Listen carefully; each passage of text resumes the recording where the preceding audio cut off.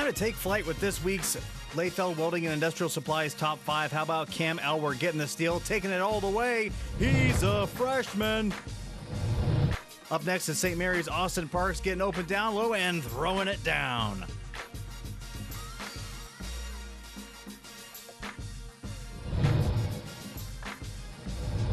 At the three spot, Kalida looks to have a bucket in transition, but Van Wert's Aiden Pratt comes out of nowhere. Shades of LeBron, but Brandon Miller makes the shot.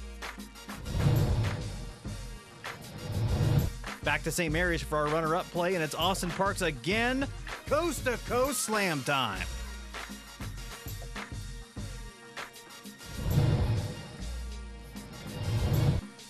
Our top play this week comes from a big early season NWC matchup. Spencerville's Dylan Smith finding Carter Sutoff down low for the go ahead bucket, and the Bearcats pick up the huge win. And that is this week's Lefeld Welding Industrial Supplies Top 5.